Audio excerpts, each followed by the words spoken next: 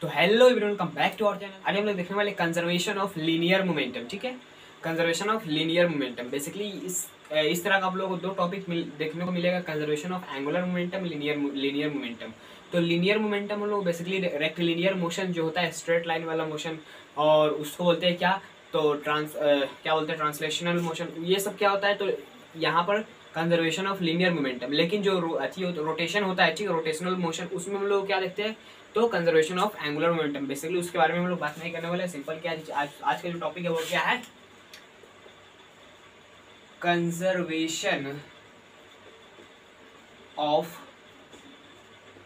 linear momentum momentum ठीक है?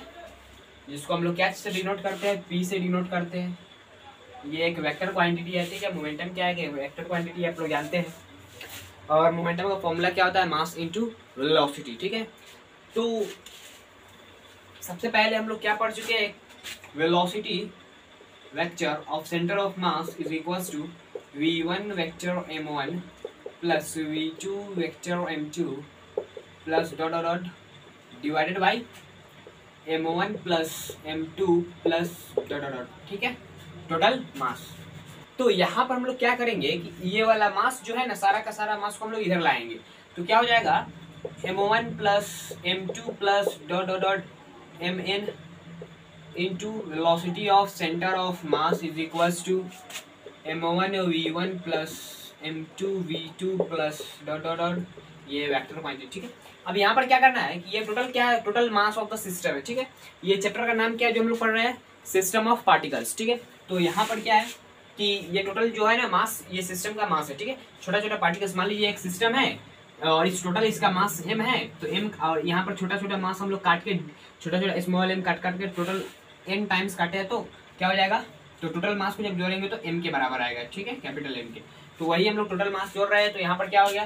Total mass of system into velocity of centre of mass is equals to यहाँ पर क्या है? तो M one V one vector plus M two V two vector plus यहाँ पर basically आप लोग देखने को मिला होगा कि total mass of the system ठीक है? Total mass of the system और velocity of velocity of the system basically बोल सकते हैं, ठीक है?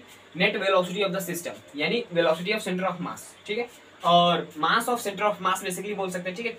टोटल मास को हम लोग एक पॉइंट पर कंसिडर करते हैं सिस्टम के। तो ये हो गया।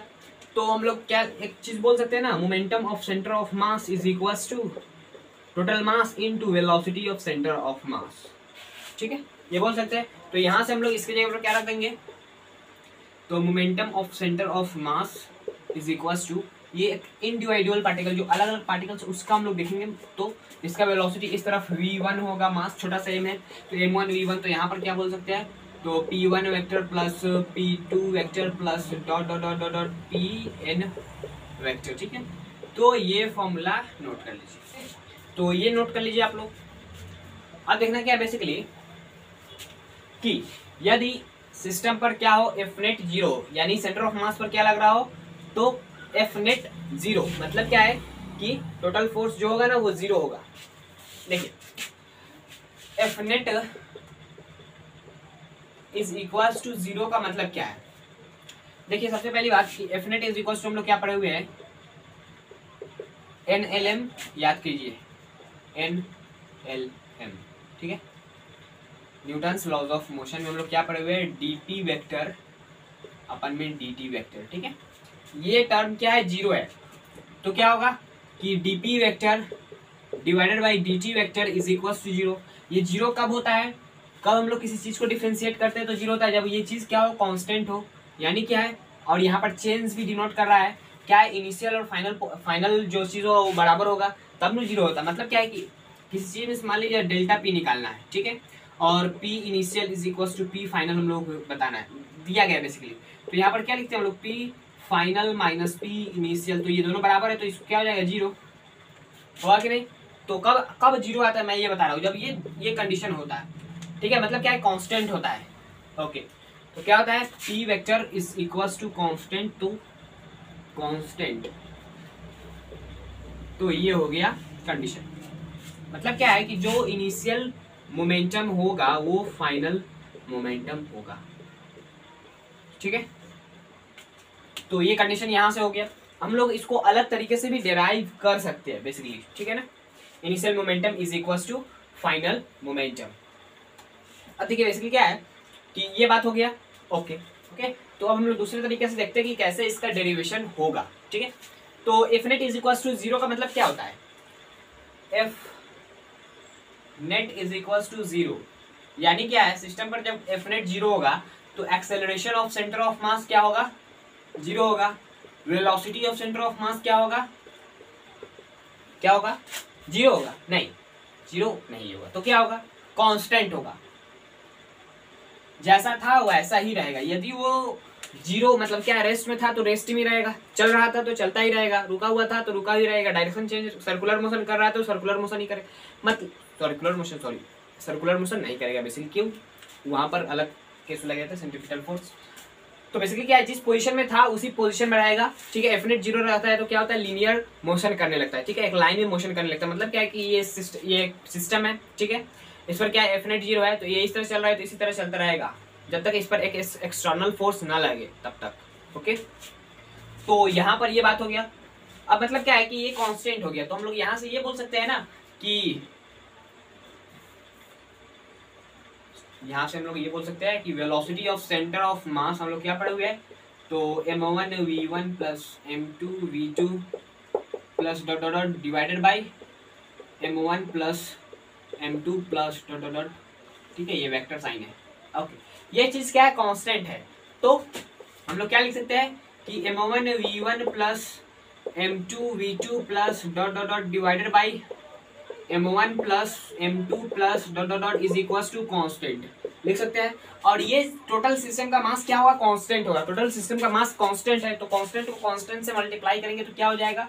कांस्टेंट एक नया कांस्टेंट बनेगा। ठीक है, ये कांस्टेंट इधर जाएगा तो। क्या हो जाएगा? M one V one plus M two V two plus dot dot dot is equal to ये इधर जाके कांस्टेंट एक नया कांस्टेंट बन जाएगा, ठीक है? अब ये क्या चीज़ था? ये चीज़ क्या? है तो ये देखिए, एक देखिए, ये क्या है? इसको हम लोग लिख सकते हैं कि ये एक वेक्टर क्वांटिटीज है, ठीक है?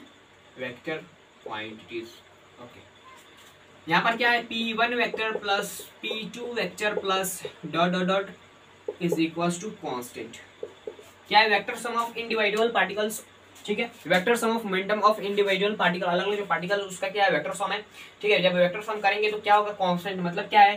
कि P of system is equals to constant. Constant का मतलब क्या है? कि initial is equal to final यही चीज़ है। यहाँ पर भी प्रूफ हो गया। इस अलग अलग तरीके से प्रूफ कर सकते हैं अपना मर्ज़ी, ठीक है? लेकिन मैं आप लोगों को दो तरीके बता दिया हूँ, ठीक है? ओके तो बेसिकली ये चीज़ हो गया। यहाँ पर यही बात था कंजर्वेशन ऑफ़ मोमेंटम में कुछ नहीं था। यदि दो पार्टिकल है तो वहाँ पर हम लोग क्या अप्लाई कर सकते हैं? एम वन वी वन ये हम लोग फॉर्मूला जो क्लास नाइन में पढ़ते क्या? तो M one U one plus M two U U two is equals to M one V one plus M two V two तो ये कब अप्लाई करना है? तो एक्स डायरेक्शन में का मोशन जो होगा, उसमें अलग वाई डायरेक्शन में का जो होगा, उसमें अलग इस तरह से करना है, ठीक है? X Y X, Y, Z जो डायरेक्शन होगा, तीनों डायरेक्शन का एक ही इक्वेशन में नहीं रखना है, ठीक है? एक्स का तो एक्स में और वाई का तो वाई में। जो नेगेटिव डायरेक्शन जा रहा होगा तो उसका नेगेटिव वैल्यू वेलोसिटी का, ठीक है? वेलोसिटी का मैं बोल रहा हूँ मास का नहीं बोल रहा हूँ, ठीक है? और जो पॉजिटिव डायरेक्शन में जा रहा होगा तो पॉजिटिव ठीक है? कोई एक डायरेक्शन को पॉजिटिव लेंगे तो दूसरे को तो निगेटिव लेना ही पड़ेगा। इसीलिए मैं आप लोगों को पहले ही बता दिया हूँ कि ये जो इक्वेशन है, ये हम लोगों को अलग अलग डायरेक्शन का अलग अलग इक्वेशन बनाना पड़ता है, ठीक है? मैं आप लोगों को करके दिखा रहा हूँ, आप लोगों को समझ में आ जाएगा, ठीक है?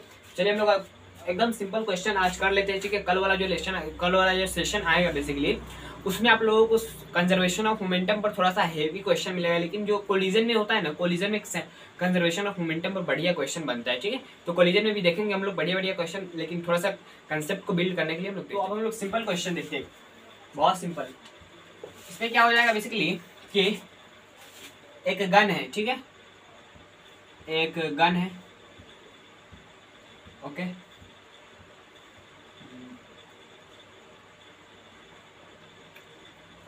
एक गन है यहाँ पर। हम्म। हम्म, ये गन है ठीक? यहाँ से क्या निकलेगा? बुलेट। ओके? तो इस गन का टोटल मास कैपिटल एम है ठीक? और इसके अंदर जो बुलेट बुलेट है उसका जो मास है वो कितना है? तो स्मॉल एम है ठीक है? स्मॉल एम शुरुआत में ये क्या था? रेस्ट में था बेसिकली जब बंदूक को क्या चलाया चलाया गया, ठीक है? गन को क्या चलाया गया? मतलब सॉरी गन को जब चलाया गया तो ये बुलेट वी वेलोसिटी से बाहर निकला। तो हम लोगों को रिक्वाइल स्पीड ऑफ़ गन बताना है, ठीक है? रिक्वाइल स्पीड ऑफ़ गन कितना होगा? सिंपल तरीका क्या है कि यहाँ पर क्या एफ़ नेट ज़ीरो है। सिस्टम पर क्या है एफ़ नेट ज़ीरो मतलब क्या है कि कोई एक्सटर्नल फोर्स आया नहीं। देखिए, जब हम लोग बंदूक चलाते हैं, ठीक है तो जब गोली निकलता है तो बंदूक क्या करता है, पीछे की तरफ़ भागता है। पीछे की तरफ़ क्यों भागता है? क्योंकि आप लोगों को अभी समझ में आएगा। देखिए, सबसे पहली बात कि एफ़ नेट ज़ीरो है, यानी एक्सटर्नल फोर्सेस सिस्टम पर क्या है ज़ीरो है। क्या होगा मोमेंटम क्या होगा कांस्टेंट होगा। यानी P initial is equal to P final होगा। यानी इस सिस्टम का बात मैं बात कर रहा हूँ। तो शुरुआत में क्या है कि शुरुआत में तो मोमेंटम ज़ीरो है क्योंकि कुछ भी चल नहीं रहा है सिंपल रुका हुआ है। बाद में क्या हुआ कि ये जो बुलेट है, उसका मास स्मॉल एम है और वेलोसिटी वी से भागने लगा। ठीक है? अब ये क्या है कि इसका वेलोसिटी हम लोग मान लेते हैं वी है। ठीक है? बेसिकली इसके पास भी कुछ मोमेंटम आ गया होगा तो उसका वैल्यू बताना है। ठीक है? रिक्वायर स्पीड तो यू मान लेते हैं उसका वेलोसिटी ठीक है? अभी। और यू का वैल्यू फाइंड करना है। Plus capital mass into U यहाँ से यू का वैल्यू जब फाइंड करेंगे इधर इसको इधर लाकर तो U is equal to minus M sorry minus small M V बट्टे कैपिटल एम ये होगा। अब ये माइनस इसलिए आया क्योंकि हम लोग कोई साइन विन तो रखे नहीं, हम लोग इसको मान के सॉल्व कर रहे थे। तो हम लोगों को यहाँ पर ये माइनस साइन इंडिकेट क्या कर रहा है कि इसको जब पॉजिटिव माने तो इसको नेगेटिव मानिए। तो जो रिक्वायर्ड स्पीड आया होगा गन का यू का वैल्यू तो वो इस डायरेक्शन में आया होगा, ठीक है? आप लोग जानते हैं ना, जब बुलेट इस तरह इस डायरेक्शन में जाएगा तो गन इस डायरेक्शन में भागता है, ठीक है? अब यहाँ पर बात ये है कि बुलेट इतना तेज भागता है और गन थोड़ा सा क्यों भागता है? मतलब थोड़ा सा मतलब कुछ तो मतलब जाता है ना, क्यों जाता है? तो इसलिए क्योंकि जो गन का मास होता है एज कंपेयर टू बुलेट बहुत ज़्यादा होता है, ठीक है? मतलब क्या है कि गन का मास लगभग लगभग मैं, मेरे अंदाज से जो बॉर्डर पर गन लिए रहते उनका मास होता होगा लगभग लगभग पंद्रह सोलह के ठीक है? थोड़ी देर के लिए मान लेते हैं, पंद्रह सोलह के और जो बुलेट होता है, उसका मास कितना होता है? तो चालीस ग्राम, पचास ग्राम, इस तरह होता है, ठीक है? तो बहुत बहुत निग्लिजेबल लगभग लगभग है, ठीक है? तो इसीलिए यहाँ पर इस तरह होता है, ठीक है? इसको जब देखिए, मास है सोलह के जी इन टू वेलोसिटी भी, ठीक है? इज़ इक्वल टू मास है इसका कितना ग्राम? मोमेंटम को बराबर रहना है ना? तो मास कितना होगा इसका? तो बेसिकली हो जाएगा आपको फोर्टी ग्राम है ना? Forty gram divided by thousand इसको के में बदलना है ना? इंटू वेलोसिटी यू से यू यू मान लेते ठीक है? तो कितना टाइम्स होगा अभी पता चल जाएगा। यहाँ पर फोर फोर जा, और ये हंड्रेड जब इधर जाएगा तो four hundred V is equal to U ठीक है? Four hundred V is equal to U ये हम लोग किसका माने हैं? तो अब लोग को हो गया ये क्या चीज़ का? तो गन का, ठीक है? गन का मास है तो गन का वेलोसिटी यानी जब गन का वेलोसिटी यू वी है तो V is equal to U बटे चार सौ। मतलब क्या है कि जो बुलेट का वेलोसिटी होगा, उसका 400 गुना कम करेंगे, तब हम लोगों को क्या मिलेगा? तो गन का वेलोसिटी मिलेगा। इस कंडीशन में जब इसका मास 16 के जी हो गन का और बुलेट का मास 40 ग्राम हो तब अलग अलग कंडीशन में तो हम लोग ये फॉर्मूला लगाएँगे, ठीक है? तो आई होप आप लोगों को ये बातें समझ में आ गई बहुत सिंपल क्वेश्चन था। तो समझ में आया तो वीडियो को लाइक कर दिएगा चैनल पर नए तो चैनल को सब्सक्राइब कर लीजिएगा। चलते जय हिंद, जय भारत।